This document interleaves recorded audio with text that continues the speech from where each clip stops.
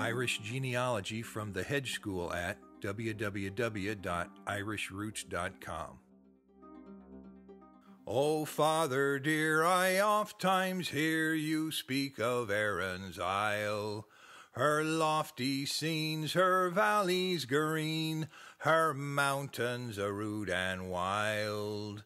They say it is a lovely land wherein a king might dwell. So why did you abandon it? And the reason do me tell. Welcome to the Irish Genealogy Hedge School Sessions. Now, you know, those hedge schools be began back in the 17th century. That's when the teachers and the students and schools themselves were outlaws.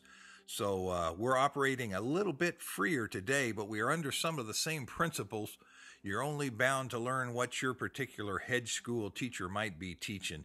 Uh, so whether you're listening to me in a car or at home or uh, or you needed something to doze off to sleep, perhaps, uh, I hope to help you find your Irish ancestors with, with some tips, and we will begin from the beginning, assuming you know next to nothing, and uh, just build it up from there. So, we're going to start with some very simple uh, uh, illustrations, and I'm going to use my family history that I, have I've gathered over the last 30 or 40 years and share those tips with you as well as some some basics. And uh, most of you will have the beginner's guide to Irish family uh, research with which comes with uh, uh the CD on Irish genealogy for beginners. So that'll help you too. I'll be using that right in the beginning of these ses- sessions, and then we'll move on to things that are uh, a little more advanced.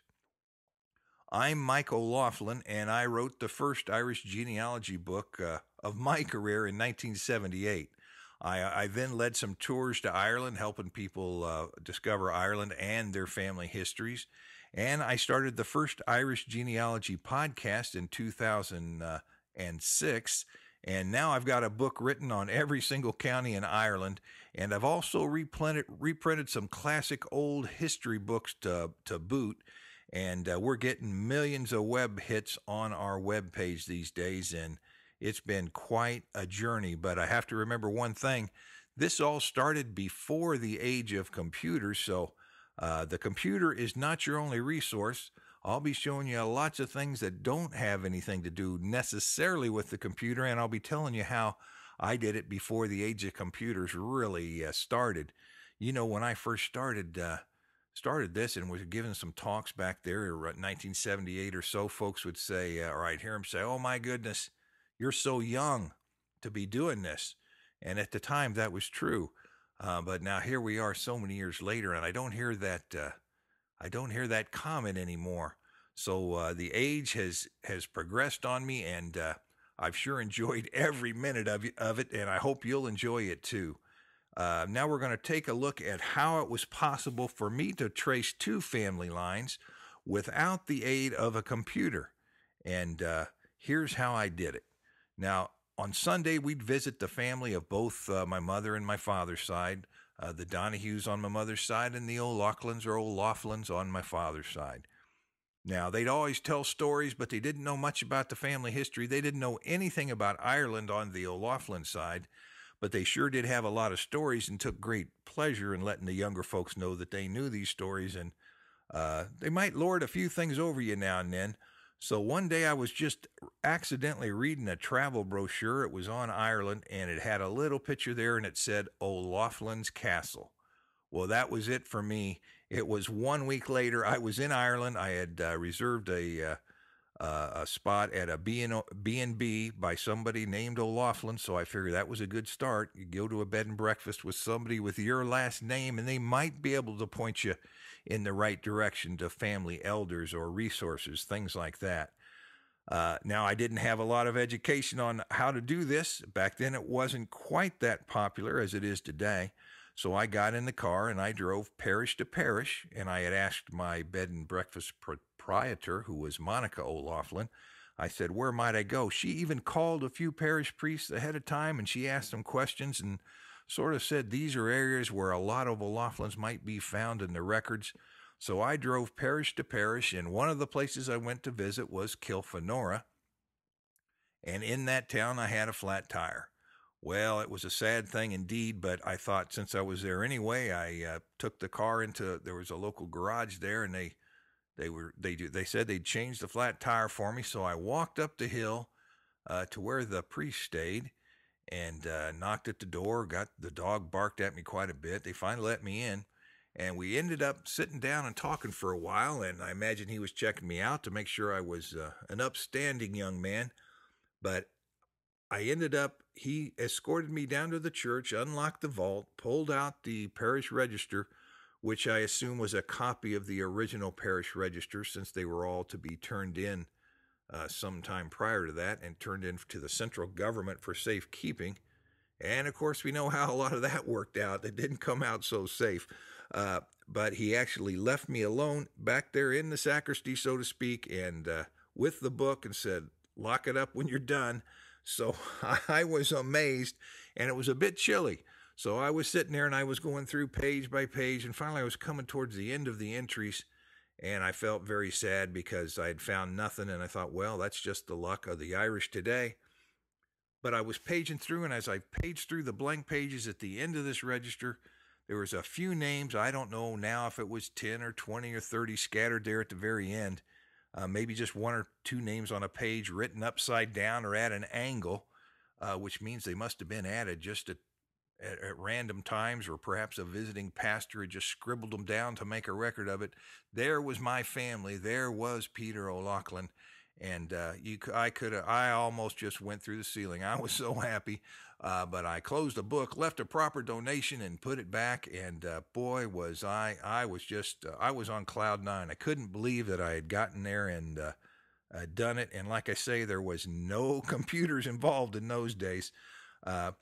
Now, and the names were written upside down and backwards. I don't even know if they're on the official registers to this day. I'll have to check that sometime. But uh, since I saw it in, in, real handwriting in the town, I didn't think it was necessary to check on the computer. Uh, now, number two, the second family I was looking for, this is the very same trip. I was looking for the Donahue family, and they did pass down. They were a little bit closer to those Irish roots, and my mother had just passed down to me really one thing that I was able to remember, and that was we were the Donahues of the Glens. And she painted a picture of a man riding on, on horseback through the Glens, whatever that was. And uh, I found out quickly that that meant Glenflesk, which was near Killarney in County Kerry. And uh, so I went over there. I drove down there after making the great success of the O'Loughlin's in County Kerry. I mean, in County Clare. I drove down there to Kerry and I I drove past Glenflesk two or three times. It wasn't even there. I couldn't see it from the road. So I, I, I was, I thought it'd be maybe a bigger little town, but, but from what I could see from the road, there wasn't anything there. I stopped at the church, and the church, at least the one I was looking at there on the road, uh, was closed, and I, that was disappointing too. But across from the church, just a jump across the road, I ran over there. There was a little store, and I thought, well, this is great. So I went in and I think I bought an apple. Uh, really, I bought the apple as an excuse to talk to the person at the cash register to say if they knew my family, which of course, how could they not? We were a famous, famous, outstanding family. I was sure of it. Uh, the O'Donohues of the Glen. We even had a phrase that went with our name.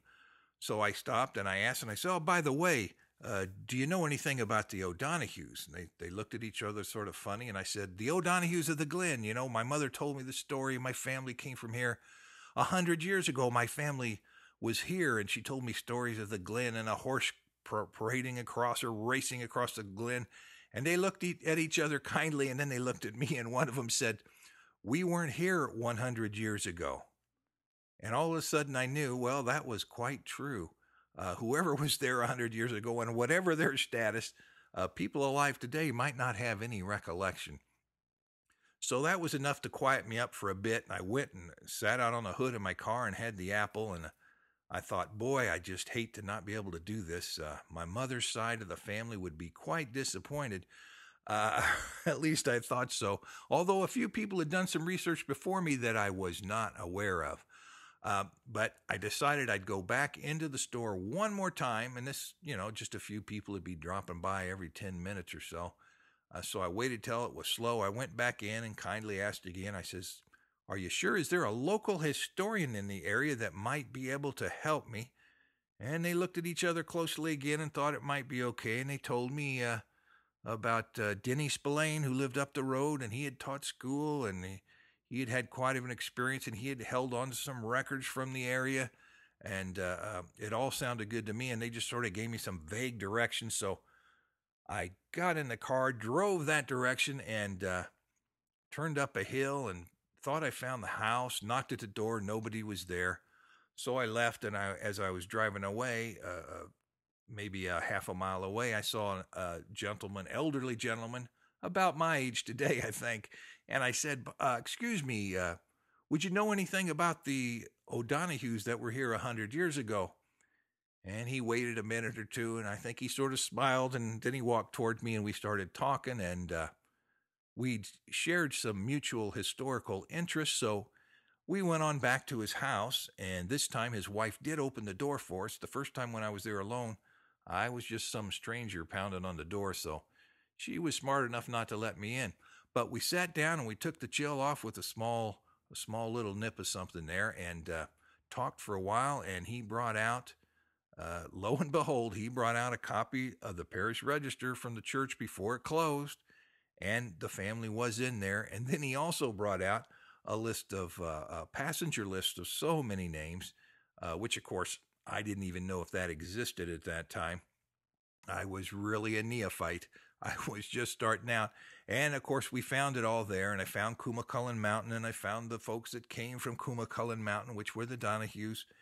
And he even then, we got in the car and we drove up Coomacullen Mountain uh, to the end of the railroad and till and we stopped at the house and he got out and went in and talked to the folks there which he knew of course and he said well now we're going to drive on up this road if you want to and I could barely make it up in the car because it was an old rocky road sort of like you might find in the Ozark mountains around here and we finally got up there and there was uh, an old house looks like it had been deserted uh, I don't think there was uh, re- any windows in the windows, any glass in the windows, and one old fella comes out and uh, smiles, and he was speaking in in Irish. There was no telephone line either, and so my Denny Spillane, my friend, now by this point got out and talked with him for five or ten minutes on his own, and uh, uh, then he came back and he he told me that yeah he.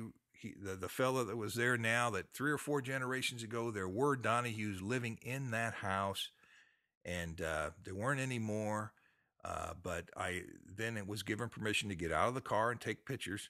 You know, they might have thought I was a revenuer or a, or a census taker, and that could be uh, that could be a dangerous profession in those parts. The way it felt. so, but he was a real friendly fella and got on well and uh, took pictures of that household. Be sure to come back and show those to. Uh, uh, my mother's people, and it, it, was just great. I felt like I'd really accomplished something, and uh, I got more of a feel from where they came from.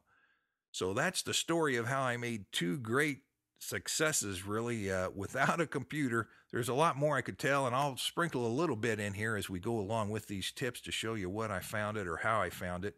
And then I'll combine it with some of the newer things like DNA and, uh, and the computer and how that's used. But it's really, if somebody had told you you'll get a hundred, a hundred million dollars in your bank account if you traced back your great grandfather or your great great grandfather uh, to Ireland, I think you'd be doing it and you'd be doing it quick. So perseverance and determination is really uh, the most important single ingredient, I think, in finding that uh, family tree. So that's the route we're taking today. Uh, once again, thanks for stopping by the uh, Hedge School, and I'm going to do my best. We're going to break this up into seven sessions. And before we uh, move on, I'm going to say that, you know, some names are so very popular. Uh, let's, what, you know, some of the top 10, the top 20 most numerous names in Ireland. If you're researching one of these names, you have some peculiar problems all unto yourself. What would those names be? Well, the top 10 are Murphy, Kelly, Sullivan, Walsh, Smith, O'Brien, Byrne, Ryan, Connor, and O'Neill.